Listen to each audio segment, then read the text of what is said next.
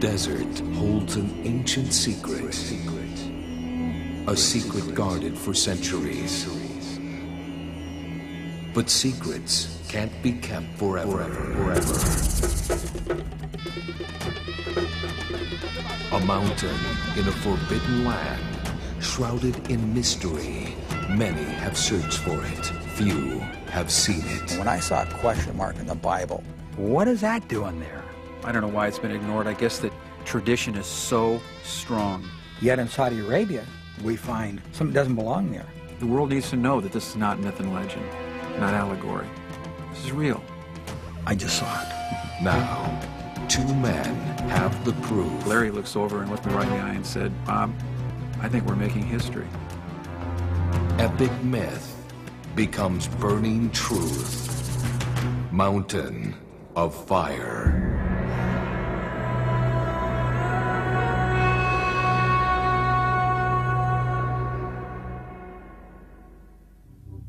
The precise location of Mount Sinai has eluded both archaeologists and theologians for centuries.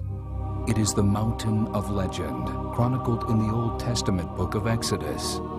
The mountain where Moses saw the glory of the God of the Hebrews, where he fell to his knees in fear before a burning bush, and where he received the stone tablets containing holy law etched by the finger of God.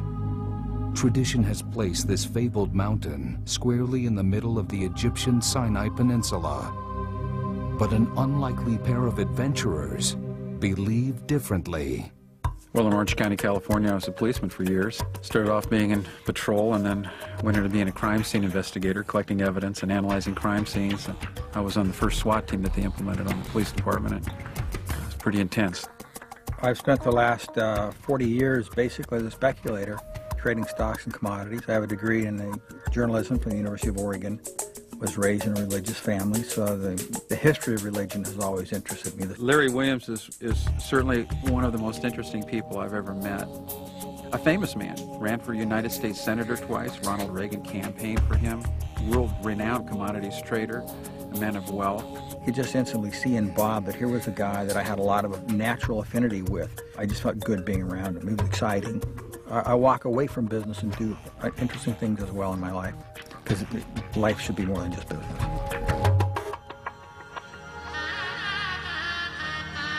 I've always been enamored with treasure hunting, the great unknown, great stories about things like, oh yeah, that's a really cool story, but is there anything to it or is it myth?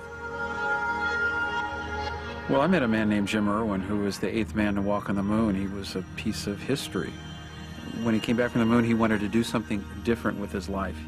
He felt that he had a calling, a calling by God, to go look for lost locations in the Bible. He was involved heavily with looking for Noah's Ark at the time, and I thought that was fascinating. When you look at the great archaeological discoveries of the world, they have not been found by archaeologists. Whether it's the Machu Picchu or the lost city of Ur, the Dead Sea Scrolls, you go on and on, they're found by people that are adventurers.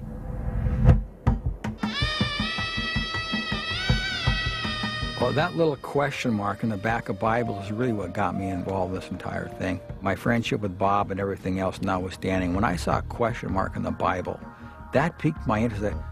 What is that doing there? Why don't people know? I thought everybody knew where it was. That question mark got me to spend a small fortune in this search. That search begins with a series of clues that came in the form of a mysterious letter, written by explorer David Fasold and given to them by Irwin, hinting that the real Mount Sinai might actually be in Saudi Arabia. We had kind of a, a, an idea of where to go and how to get there, but David wasn't able to come back with any documentation because he was arrested and couldn't get anything out other than what he carried in his mind. Cornuke and Williams agree. They will use the book of Exodus as their roadmap. Through research, they begin to compile a list of sites they will have to find to identify the true Mount Sinai. After 400 years of slavery in Egypt, the Israelites fled toward this holy mountain as they were pursued by the armies of Pharaoh.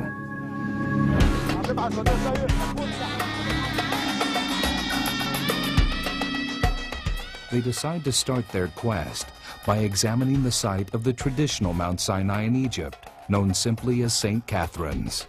It received its name, some say, by Queen Helena, mother of Constantine, the Emperor of Rome, and that she guessed that this was the mountain. And I guess being the mother of the Emperor of Rome, you have a little bit of power, and they put it down on a map, and then tradition just carries on. The Roman Church perpetuated it, we know, quite extensively in the 4th century as being Mount Sinai.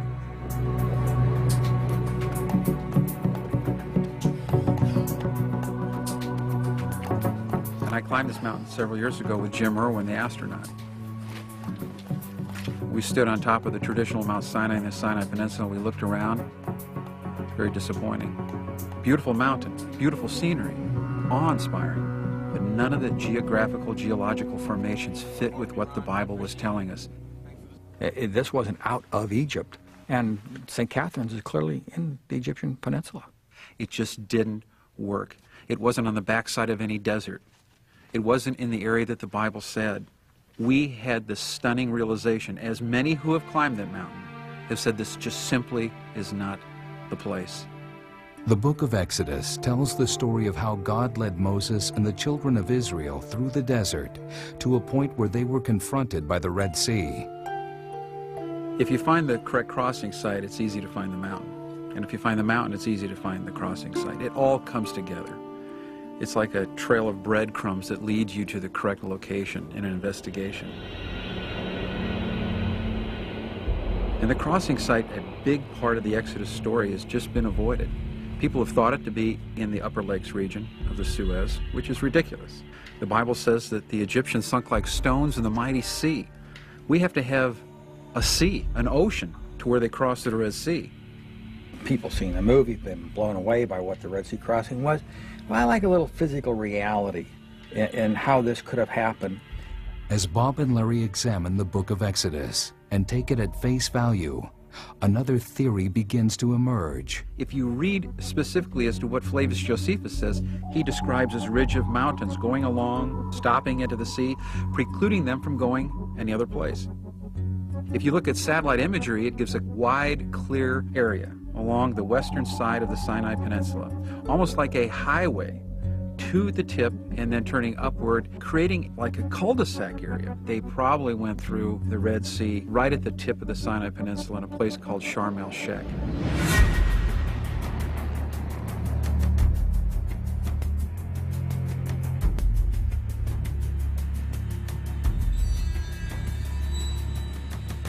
It's remarkable.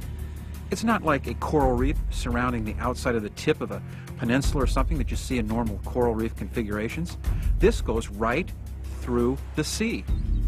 And it's interesting to note here that God in Scripture says, I will make for you a roadway through the sea. Actually has a coral barrier that comes out, and Bob and I have pictures of ourselves at high tide, not low tide, with the tide up to about my waist, standing on this barrier, this reef barrier there. They would have had a pedestal under the surface of the water, a wide ribbon of land that goes under the water, that when the water's parted, they could walk upon, that would allow them an escape route and go through the sea. The book of Exodus records that Moses stretched out his hand over the sea, and all that night the Lord drove the sea back with a strong east wind and turned it into dry land. The waters were divided, and the Israelites went through the sea on dry ground.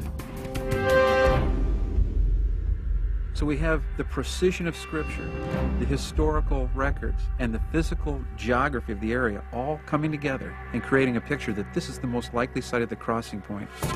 The Bible says that they crossed through the Red Sea, and it was the mighty waters of the Red Sea. That's simple. We need to look there. The Bible says that Mount Sinai is in Arabia. Galatians 4.25 says, Now Hagar stands for Mount Sinai in Arabia. The Bible says it's in the ancient land of Midian, where Moses met God, on Mount Sinai. Why aren't we following the clues given us in Scripture? The Bible is like a roadmap.